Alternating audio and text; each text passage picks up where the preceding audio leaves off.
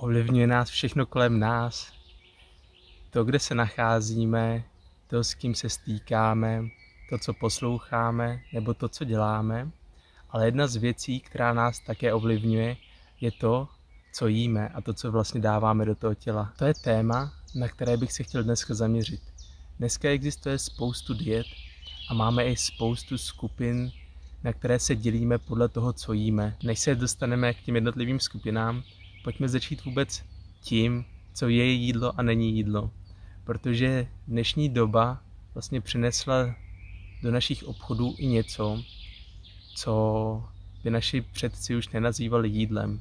A jsou to vysoce zpracované potraviny. Pokud nám jde o naše zdraví, tak první věc, kterou bychom měli vždycky vynechat, tak jsou vysoce zpracované potraviny. Rád bych začal se skupinou, která jí vše a postupně se dostala jenom k té skupině, která nejí skoro nic. První skupina na tady té pyramidě jsou vlastně všežravci. A všežravci oproti vegetariánům jedí navíc maso. U masa mi přijde, že není ani tak náročné najít to, co je špatné na tom míst maso, ale naopak najít něco pozitivního na tom míst maso. Stačí si dát do Google třeba maso, tady to slovní spojení maso a výzkum a celou první stránku uvidíte plnou nějakých výzkumů, jaký má jezení maso negativní dopady na naše zdraví, že to zkracuje naši životnost, že to zvyšuje riziko rakoviny a dalších onemocnění.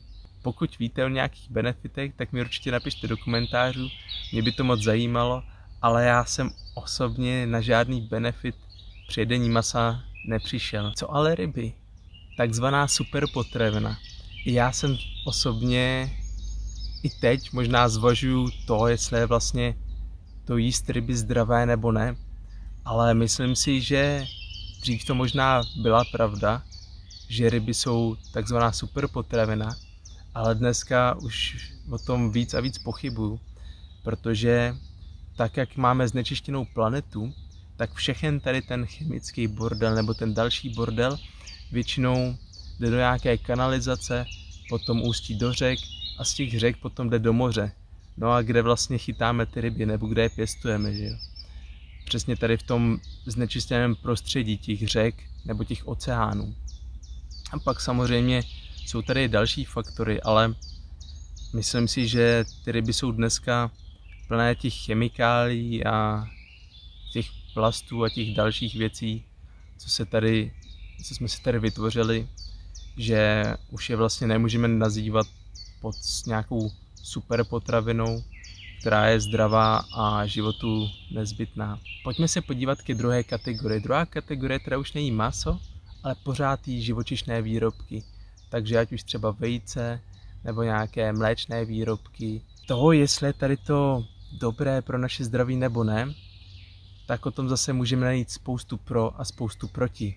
Nechci vypichovat jenom jedno proti, protože stejně tak někdo může namítat, že to má spoustu pro a je to pak takový, takový dohady vlastně, kdo co přečet. Jestli jsme přečetli tady ten výzkum nebo tamten, tak každý může mít prostě nějakou, nějaký jiný názor na to vlastně, co je správně a co není. Já bych to teda schrnul jednoduše tím, že pít mateřské mléko je zdravé. Každý z nás musí vlastně pít to mateřské mléko, aby vyrost, aby jsme vlastně se stali těma zdravýma jedincema. Ale kdy vlastně přestáváme to mateřské mléko pít, to je první věc. A druhá věc je vlastně, že mateřské mléko a třeba to kravské mléko nebo kozí mléko nebo další nějaké alternativy, tak se vlastně tím složením dost liší. A když bychom vzali ten, tady ten argument, že vlastně to mléko je taky super potravené, že je to zdraví prospěšné a že ho potřebujeme pít, tak mi prosím vás řekněte, kdo z vás ještě dneska pije mateřské mléko. Představte si třeba svého dědu nebo pradědu, který, který vlastně cucá z toho prsu to mateřské mléko. Dává nám tady to nějaký smysl? Kvůli tomu si myslím, že pití nějakého kravského mléka nebo nějakých jiných alternativ tady toho mateřského mléka nedává smysl, protože vlastně přijímáme ty hormony z toho jiného živočicha, které už vlastně nepotřebujeme. My to mateřské mléko jsme potřebovali, jsme vyrůstali ale pak už když nějak dospějem nebo už, už vlastně překonáme ten vývin, tak proč bychom dál pili mateřské mléko? Jako aby se z nás stala nějaká, nějaká kravička postupem času. Třetí skupina jsou vegani. Vegani teda nepřijímají nic, co souvisí se živým tvorem. Veganská strava už se dneska dostává k nám do Čech, i když my jsme vždycky trošku tak zpomalený, tak tady ten trend z Ameriky se dostává i k nám a spoustu lidí ho má za vlastně nejlepší dietu, kterou můžeme dneska jíst. S tím ale, že to nejlepší dieta pro naše zdraví úplně nesouhlasím, protože já ještě dřív, když jsem nebyl žádný vegan a jedl jsem všechno, tak si myslím, že jsem je daleko zdravější jídlo než vegani, nebo než většina veganů.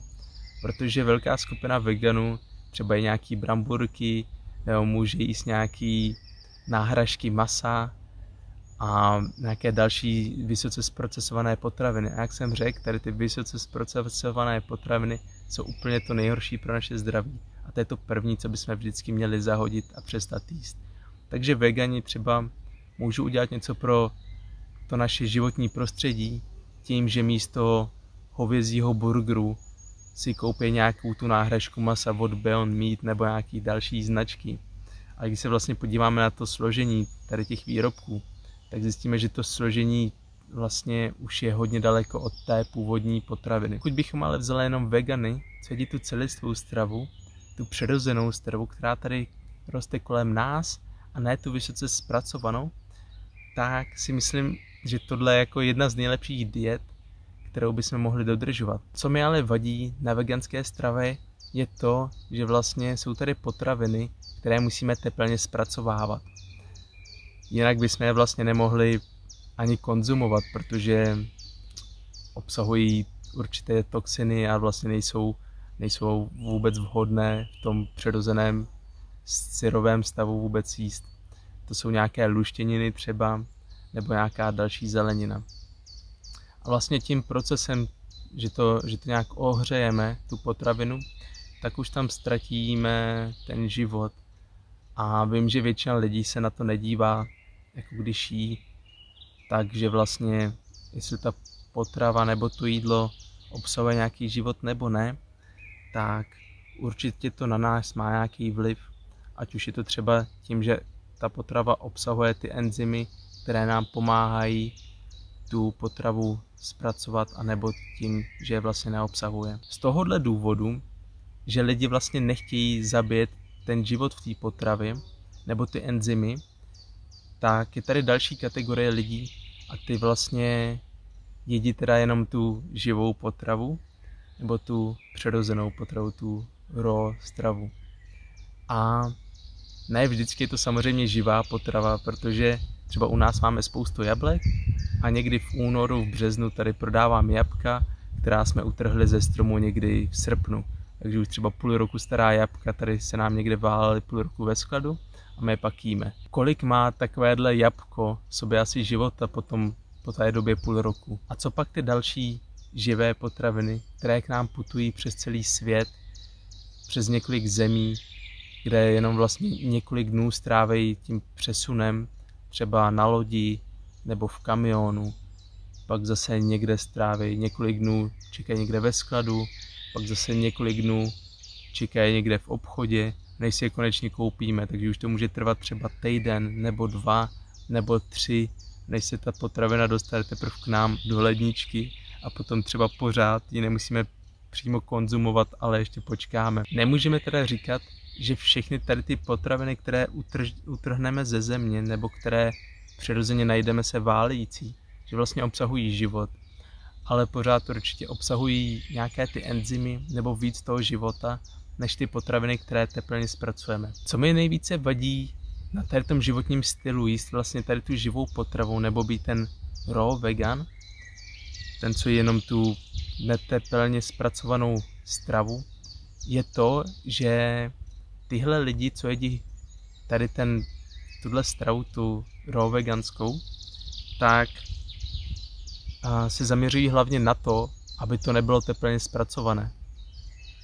Ale to, že vlastně přijímají věci, které se ani nedají pořádně strávit, jako určitá zelenina, která je daleko lepší vlastně ohřát, než když ji sníme jen tak jakoby přirozeně, protože prostě si s ní ten organismus nedokáže poradit, tak máme zase nějaké potravy, jako třeba česnek, nebo cibuli, anebo nějaké koření, které používají tady ty skupiny k tomu, aby ochucovaly ty jídla. Nic proti česneku a nějakým dalším kořením, ale já to beru tak, že koření a česnek a tady ty věci je třeba nějaký něco, co bychom mohli jíst v případě, kdy jsme nemocní a kdy potřebujeme jenom dostat ze sebe ty bakterie.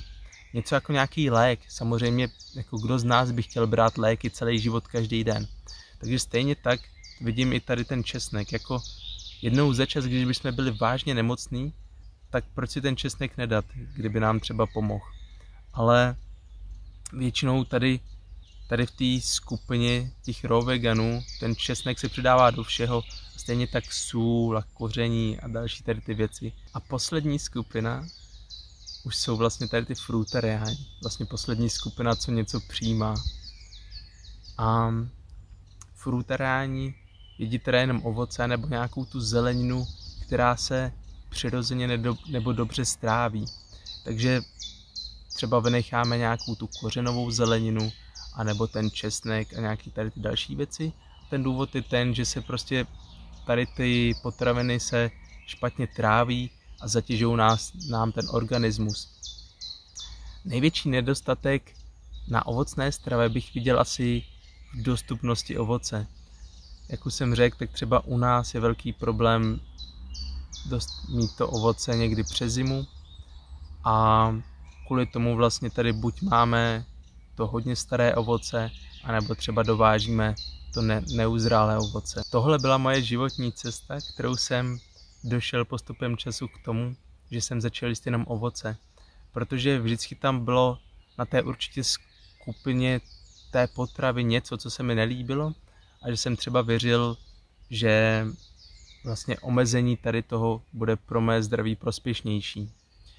A třeba teď u nás jsem si jsem uvažoval nad tím, že ta ovocná strava nemusí být úplně optimální, hlavně z hlediska té dostupnosti toho ovoce, takže potom můžeme víc uvažovat o té, o té živé stravě, o té skupině těch lidí, co žijí tu živou stravu, nebo skupině lidí, co jsou vegani, ale kdyby jsme byli někde v tropech, tak si myslím, že tady ta skupina nebo jíst jenom to ovoce je prostě to nejlepší, co momentálně věřím. Jinak ale samozřejmě a všechny tady ty skupiny nebo životní styly mají nějaký, nějaké pro a nějaké proti. Já jsem se teď snažil takhle ve stručnosti zmínit jednotlivé nebo ty hlavní nedostatky těch jednotlivých skupin a vlastně co mě vedlo k tomu eh, přejít až k tady k tomu extrému jíst jenom ovoce. Jsem si samozřejmě vědom určitých nedostatků, které jsem i zmínil v posledním videu, ale současně mi tady pořád převažují ty pozitiva a ty benefity a těm jsem se vlastně dostal tou cestou, kterou jsem tady zmínil, kde vlastně mi vadilo, že jíst maso je úplně nezdravé, jíst ryby je asi taky současně docela nezdravé, jíst mléčné výrobky je úplně zvláštní a už z hlediska těch jiných hormonů asi taky to není dobré, anebo třeba obsahuje spoustu nějakých těch živočišných tuků, které pro nás nejsou prospěšné, nějak prospěšné. No a potom tady máme tu veganskou stravu, kterou považuji za hodně zdravou, pokud se vyhneme tím vysoce zpracovaným potravinám, kde nám vlastně nemusí nic scházet, je to vlastně vyvážená strava, ale pořád mi tady vadí to, že ty potraviny teplně zpracováváme.